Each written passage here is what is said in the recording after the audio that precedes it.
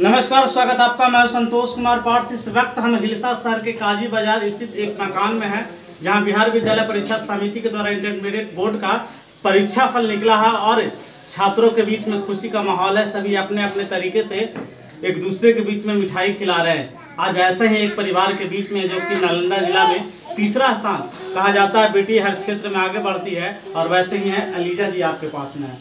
बताइए, कहाँ से आप परीक्षा जीती आप मेरा सेंटर राम बाबू स्कूल था। और परीक्षा आपका एसी कॉलेज से था। हाँ। जैसे तीसरा स्थान आया कैसा जानकारी मिला कि तीसरा स्थान लाई अभी पहले ही मतलब एक प्रेस रिपोर्टर थे तो वो वो आए तो हमको पता चला। तीसरा स्थान में लाई कैसा अनुभव कर रहे हैं? अच्छा अनुभव कर रहे हैं। अच्छा क्या बनना चाहती है? डॉक्टर बनना चाहते हैं। अच्छा ये जो आपका अंक आया है किसका श्रेय आप देते हैं? तो अपने पेरेंट्स को और टीचर्स को इसके लिए। टीचर को देते हैं। बगल में पवन सर हैं। क्या यही शिक्षक आपके हैं हाँ मार्गदर्शन रहा हैं।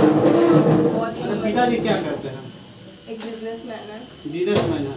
दुकान देते हैं। हाँ छोटा सा बच्चा है। हाँ। अच्छा चलिए अच्छा लग रहा है। आप कैसा लग रहा है अनुभव कर रहा है। अच्छा अनुभव कर रहा हैं।